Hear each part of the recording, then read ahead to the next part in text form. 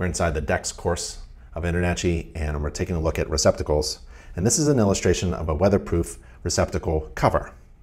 In damp or wet locations, boxes, conduit bodies, and fittings should be located or equipped to prevent moisture from entering the box, conduit body, or fitting. Boxes, conduit bodies, and fittings installed in wet locations should be listed for wet locations. If an inspector observed an outlet receptacle and the box is mounted on the surface, it should be listed for that purpose. Common box types are FS and FD. The box cover should be installed with a gasket to prevent moisture intrusion. Receptacles installed in damp locations and protected from the weather, like under a roof, a roofed open porch, or located in other damp locations, must have an enclosure that's weatherproof or weathertight when the receptacle cover is closed and an attachment plug is not inserted.